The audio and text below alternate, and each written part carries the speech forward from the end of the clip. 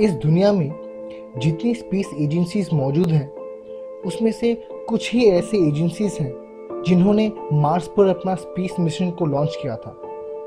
और उसमें से नासा और ईएसए को छोड़कर आता है ISRO Indian Space Research Organisation ये भारत का वो स्पेस एजेंसी है जिसने वर्ल्ड का चीपेस्ट मार्स मिशन और 104 सैटेलाइट्स को एक साथ लॉन्च करके वर्ल्ड रिकॉर्ड को बनाया था। मार्स मिशन को पूरा करने के बाद इसरो उन एलिट स्पेस क्लब में शामिल हो गया था, जहाँ पर नासा और ईएसए की तरह कुछ ही स्पेस एजेंसीज मौजूद थे।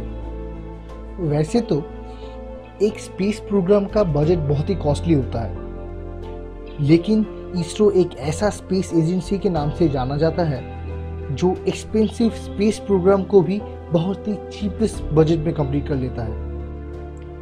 मॉम यानी मार्स ऑर्बिटल मिशन को कंप्लीट करने के लिए इसरो का टोटल बजट था करीब 74 मिलियन यूएस डॉलर लेकिन ठीक उसी समय नासा से छोड़ा गया मैविन स्पेसक्राफ्ट का बजट था करीब 672 मिलियन यूएस डॉलर इंडिया का ये मार्स मिशन को कैसे अंजाम दिया गया? इसी को लेकर है हमारा आज का ये एपिसोड। मैं हूँ देवाशीष तो चलिए जान लेते हैं।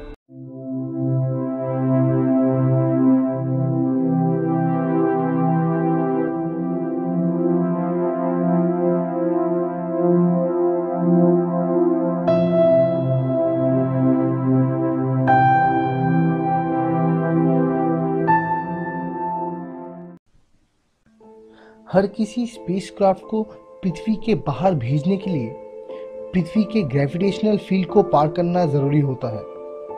और स्पेसक्राफ्ट जितना भारी होगा, उसको उतना ही ज़्यादा पावरफुल रॉकेट इंजन का ज़रूरत होता है। मार्स हमसे बहुत ही ज़्यादा दूरी पर मौजूद है।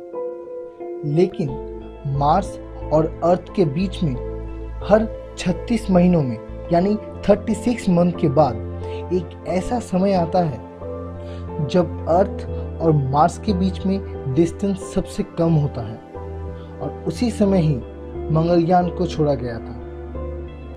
पृथ्वी से छोड़े जाने के बाद स्पेसक्राफ्ट कहीं रास्ते से दूर ना चला जाए, इसलिए थ्रस्टर्स को भी यूज़ किया जाता है। थ्रस्टर वो होता है जो स्पेसक्राफ्ट के बॉडी पर कई जगह पे लगाए जाते हैं, ताकि उस थ्रस्टर का इस्तेमाल करके स्पेसक्राफ्ट को अपनी रास्ते पर मेंटेन रखा जा सके। अब नासा के मैविन मिशन के बारे में बात कर लेते हैं। इस मिशन का टोटल बजट था 672 मिलियन यूएस डॉलर जो कि इसरो के मंगलयान मिशन से कई गुना ज़्यादा था। मैविन जिसका फुल फॉर्म है Mars atmosphere and volatile evolution इसके नाम सुन के ही आप समझ चुके होंगे कि इसका मिशन मार्स के एटमॉस्फेयर को ऑब्ज़र्व करना था। और इसलिए अपने साथ ये काफ़ी सारे इक्विपमेंट्स को कैरी कर रहा था। और इसका वेट था करीब 2500 केजीज यानी ढाई हज़ार किलो और मंगलयान का मास था करीब 1337 केजीज़ इतना ज़्यादा मास होने की वजह से मैविन को बहुत फ्यूल कंजम्पशन का भी ज़रूरत था। इसलिए नासा ने अपना एटलस फाइव रॉकेट के ज़रिए स्पेस क्राफ्ट को लॉन्च किया, जो कि 7000 केजीज के पेलोड को जियो स्टेशनरी ट्रांसफ़र ऑर्बिट तक ले जा सकता था। ये सबसे बड़ा रीज़न था इस मैविन मिशन को इतना कॉस्टली होने के लिए।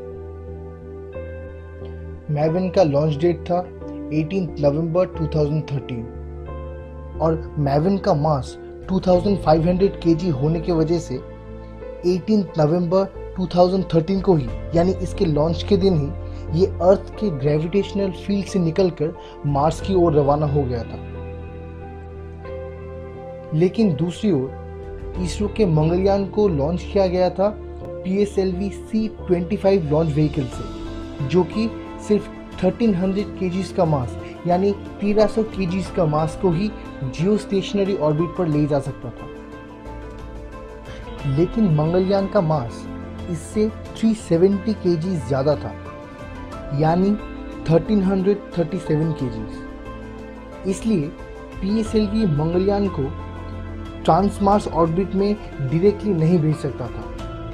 तो पहले इसे अर्थ के ऑर्बिट में भेजा गया और इसके बाद इसको मल्टी स्टेप ट्रांजिशन के ज़रिए मार्स की तरफ़ छोड़ दिया गया। तो अब ये जान लेते हैं कि इसको आखिर किया कैसे गया। फिफ्थ नवंबर 2013 में मंगलयान को लेकर P S L V C twenty five ने लॉन्च किया और इस लॉन्च व्हीकल ने मंगलयान को अर्थ के लोअर एलिप्टिकल ऑर्बिट में पहुँचा दिया। पृथ्वी के एलिप्टिकल ऑर्बिट का सबसे नज़दीक के हिस्से को पेरिजी कहा जाता है और इससे सबसे दूर के हिस्से को एपोजी कहा जाता है।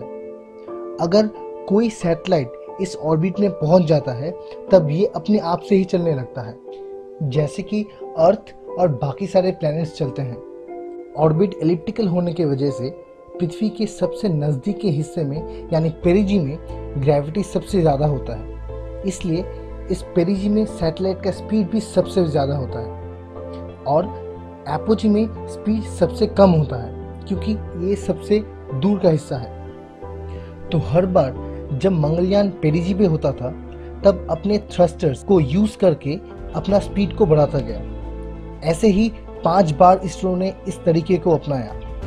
और 16 नवंबर को लास्ट बार थ्रस्टर से स्पीड बढ़ाने के बाद मंगलयान का स्पीड हो गया था करीब 11 किलोमीटर पर सेकंड, जो कि पृथ्वी के इसके वेलोसिटी से थोड़ा ही कम था, जो कि था 11.186 किलोमीटर पर सेकंड। तो इस स्पीड को अपनी थ्रस्टर्स के मदद से हासिल कर लिया गया था। तो इसके बाद मंगलयान अपने मिशन पर निकल गया।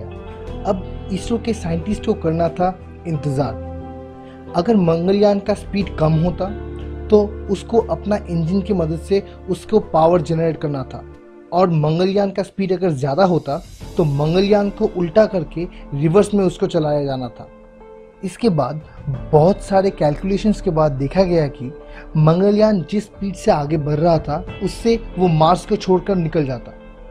तो इसरो ने इसको रिवर्स में लेकर, यानी स्पेसक्राफ्ट को उल्टी तरफ़ लेकर बैक थ्रस्ट को चलाया।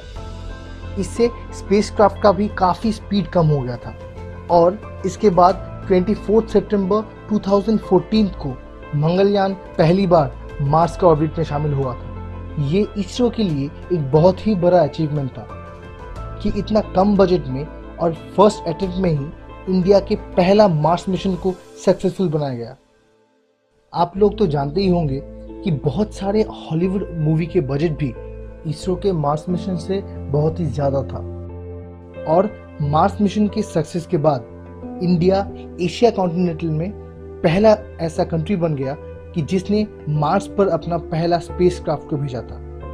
इसरो अपना दूसरा स्पेस मिशन, यानी आदित्य एल मिशन को भी प्लान कर रहा है, जो कि इंडिया का पहला सन मिशन होगा।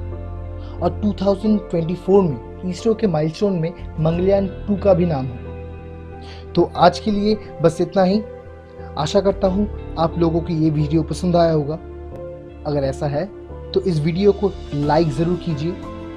अगर आप इस चैनल पर नए हैं तो इस वीडियो को सब्सक्राइब ज़रूर कीजिए और उस बेल आइकन को ज़रूर दबाएँ। तो मिलते हैं साइंस के किसी और एक इंटरेस्टिंग टॉपिक के साथ नेक्स्ट एपिसोड में साइंस स्कोप के साथ।